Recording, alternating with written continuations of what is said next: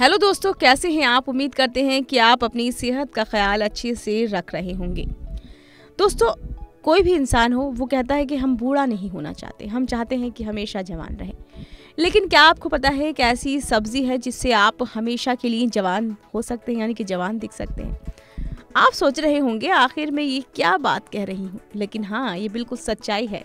एक ऐसी सब्ज़ी जिसके अंदर छुपा है जवानी का खजाना। यानी कि हमेशा आप जवान रह सकते हैं। दोस्तों, क्या आप भी लौकी के बीज निकालकर सब्ज़ी, सूप या जूस बनाती हैं? यदि आपका जवाब हाँ है तो आज से ही लौकी के उपयोग का तरीका बदल दो।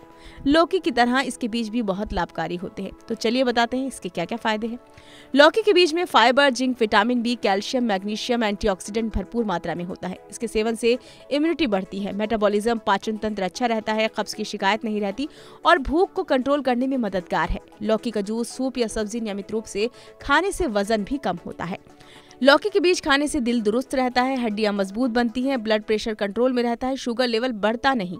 लौकी के बीज में मौजूद विटामिन ई और कैराटिन स्किन और बालों के लिए भी फ़ायदेमंद है। लौकी के बीज खाने से स्किन पर जल्दी झुरिया नहीं पड़ती स्किन का ग्लो बढ़ने के साथ साथ बाल काले, घने और लंबे भी होते हैं। लौकी के बीजों को आप सुखाकर लंबे समय तक इस्तेमाल कर सकते हैं। इसके लिए लौकी के बीजों को अच्छी तरह धोकर, धूप में लगभग दो हफ़्ते तक सुखाएँ। बार बार पलटते रहें ताकि बीज अच्छी तरह सूख जाए।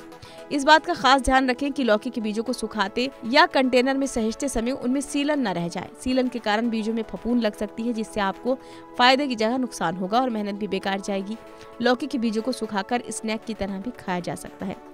कड़वी लौकी का सेवन ना करें। लौकी को काटते समय चख लें। यदि वो कड़वी है तो उसका उपयोग ना करें। कड़वी लौकी खाने से उल्टी, डायरिया, पेट दर्द, फ़ूड पॉइजनिंग की समस्या हो सकती है। कड़वी लौकी खाकर तबियत बिगड़ जाए तो तुरंत डॉक्टर के पास जाएँ।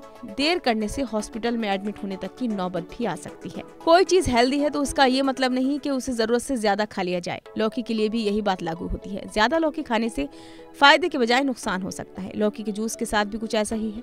लौकी का जूस सौ मिलीलीटर से ज़्यादा नहीं पीना चाहिए। हर व्यक्ति का डाइजेस्टिव सिस्टम अलग होता है। इसलिए नियमित रूप से किसी भी चीज़ का सेवन करने से पहले डॉक्टर से ज़रूर कंसल्ट करें, अपने आप ही अपने डॉक्टर ना बने। यदि आपको लौकी का जूस सूट नहीं करता तो इसका सूप भी पी सकते हैं, जिन लोगों का ब्लड प्रेशर ज़रूरत से कम रहता है, उन्हें लौकी का ज़्यादा इस्तेमाल नहीं करना चाहिए। यदि आप रोज़ाना सुबह लौकी का जूस पीना चाहते हैं तो पहले डॉक्टर से कंसल्ट कर लें। लौकी की सब्ज़ी कोफ्ते या हलवा बनाते समय इसमें प्याज, टमाटर, आलू, चना, दाल, घी, दूध जैसी कई चीज़ें पड़ती हैं। इसका फ़ायदा यह है कि लौकी का सेवन सीमित मात्रा में हो पाता है और अधिक सेवन से होने वाले नुकसान से भी बचा जा सकता है।